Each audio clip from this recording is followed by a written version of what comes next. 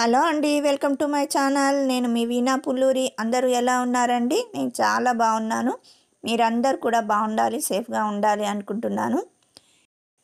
ఈరోజు ఫ్రైడే రోజు వ్లాగ్ అండి. మార్నింగ్ ముగ్గులు పెట్టేశాను. ముగ్గులు పెట్టి పక్కకు తిరిగి చూసేసరికి ఇంటి ముందు కొత్తగా శ- శంకుస్థాపన చేస్తున్నారండి ఇంటి కోసము. అలాగే కొద్దిసేపు నిల్చొని వాళ్ళని చూశాను. ఈరోజే కొత్తగా స్టార్ట్ చేస్తున్నారు ఇల్లు ఇంటి గృహ ఇంటికి శంకుస్థాపన. కొద్దిసేపు అక్కడే నిల్చున్నాను అనమాట కొంచెం తెలిసిన వాళ్ళు కాబట్టి అక్కడే నిల్చొని కొద్దిసేపు చూశాను. చూసి ఇంట్లోకి వచ్చేసి నా స్నానము పూజ అన్నీ కంప్లీట్ చేసేసుకున్నానండి. టీ కూడా తాగేశాను. ఇంకా టైం ఉంది కదా అనేసి నేను మా పాప డ్రెస్సు చాలా రోజుల నుండి కుట్టాలి కుట్టాలి అనుకుంటున్నాను. అలాగే ఉండిపోయింది అది. ఈరోజైనా కంప్లీట్ చేద్దాం అనుకున్నానండి. నేనేం ప్రొఫెషనల్గా నేర్చుకోలేదండి. ఎక్కడ నేర్చుకోలేదు డ్రెస్సులు కుట్టడం అయితే.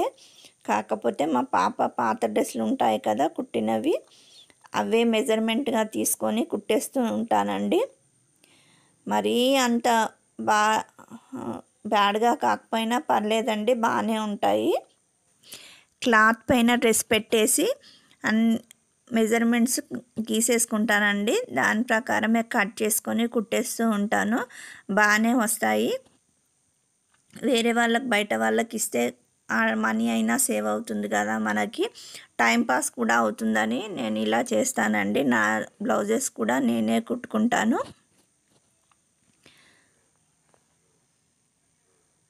ఇలా గీసేసుకుంటానండి. గుడ్డిగా గీసేసుకొని కట్ చేసుకొని కుట్టేస్తాను.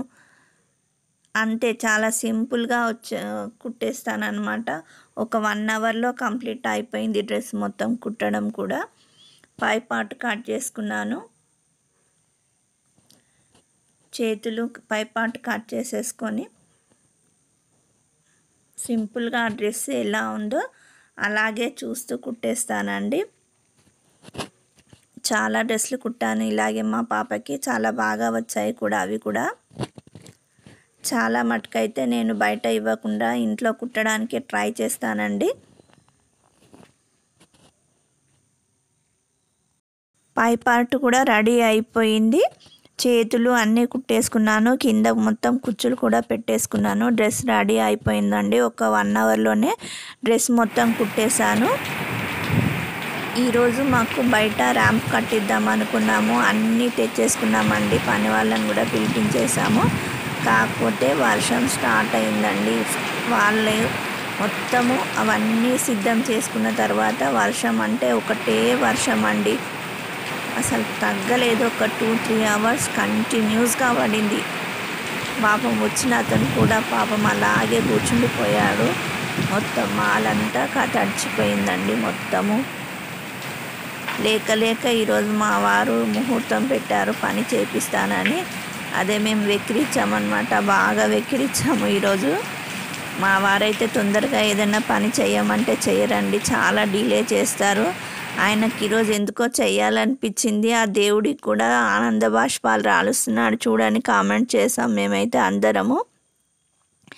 ఇంకా లోపలికి వచ్చేసి వంట స్టార్ట్ చేశానండి నేను దోసకాయ టమాటా పప్పు చేద్దాం అనుకున్నాను దానికోసము పప్పు కడిగేసుకున్నాను. దోసకాయలు టమాటాలు అన్నీ కట్ చేసి పెట్టుకున్నాను. ఈ క కడిగేసుకున్న పప్పులో దోసకాయలు టమాటాలు వేసేసుకుంటున్నాను. పప్పు ఉడకడానికి సరిపడా వాటర్ కూడా వేసుకున్నాను. నేనైతే పప్పు ఉడికేటప్పుడే దోసకాయలు కూడా వేసేస్తానండి. టమాటాలు చింతపండు అయితే వేయను. టమాటాలు ఎక్కువ ఉన్నప్పుడు మాత్రం చింతపండు యూస్ చేయను. టమాటాలతోనే పులుపు ఎక్కువగా వచ్చేస్తుంది కదా అదే సరిపోతుంది. టమాటాలు అయితే ఎక్కువగా వేస్తాను. వేసేసుకొని అందులోనే కారం కూడా వేసుకొని కుక్కర్ పెట్టేసుకున్నాను. పప్పు కూడా ఉడికిపోయింది. కొంచెం గరిటెతో మెడిపేసుకుంటే పప్పు కొంచెం మెత్తగా అయిపోతుంది ఇంకా. వాటర్ సరిపోకపోతే కొన్ని వాటర్ పోసుకున్నాను.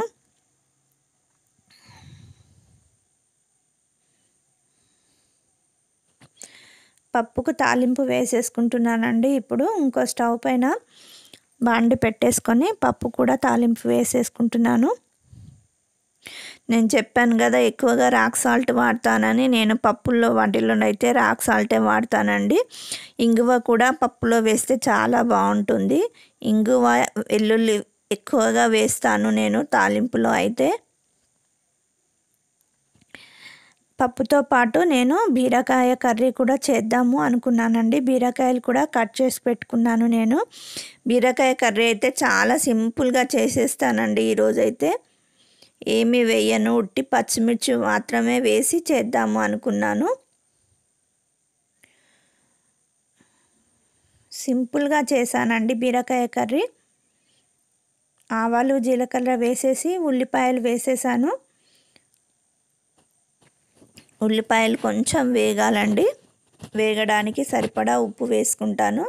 నేనైతే ఉల్లిపాయల్లోనే ఉప్పు మొత్తం వేసేస్తాను. కర్రీకి ఎంత ఉప్పు పడుతుందో అంత ఉప్పు వేసేస్తాను. ఇలాంటి వాటిల్లో అయితే నేను సన్న ఉప్పే యూస్ చేస్తానండి. ఉల్లిపాయల్లో వేసేటట్టయితే సన్న ఉప్పే యూస్ చేస్తానండి నేను. ఉల్లిపాయలు కొంచెం వేగగానే కొంచెం పసుపు అల్లం వెల్లుల్లి పేస్ట్ కూడా వేసుకుంటాను. చాలా తొందరగా కూడా అయిపోతుందండి ఈ కర్రీ. వాటర్ అయితే అస్సలు యూజ్ చేయను.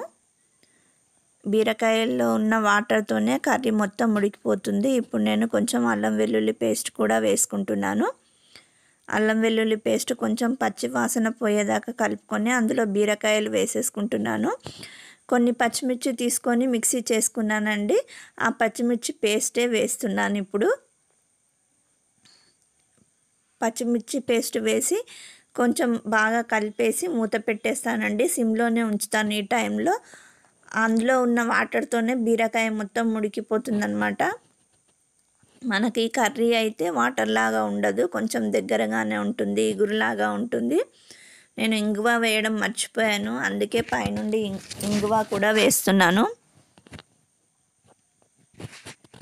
నా కర్రీ కూడా రెడీ అయిపోయిందండి. బీరకాయ కర్రీ.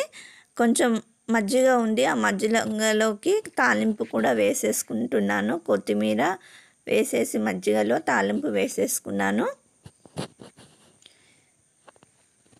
ఈరోజు మా లంచ్లోకి బీరకాయ కర్రీ దోసకాయ టమాటా పప్పు మజ్జిగ పులుసుతో మా లంచ్ కంప్లీట్ అయిపోయిందండి. ఇంకా బయట పని చేస్తున్నాడు కదా అతను అతన్ని కూడా పిలిచి రైస్ పెట్టేశాను. అతను తినగానే కొంచెం వర్షం వదిలిందండి. ఇంకా బయట పని స్టార్ట్ చేయించామన్నమాట మొత్తానికైతే వర్షం తగ్గిపోయింది. ఈరోజైతే సగం పనే కంప్లీట్ అయిపోయిందండి. రేపు మొత్తం కంప్లీట్ అయిపోయాక ర్యాంప్ ఎలా కట్టారో చూపిస్తాను. ఉంటానండి.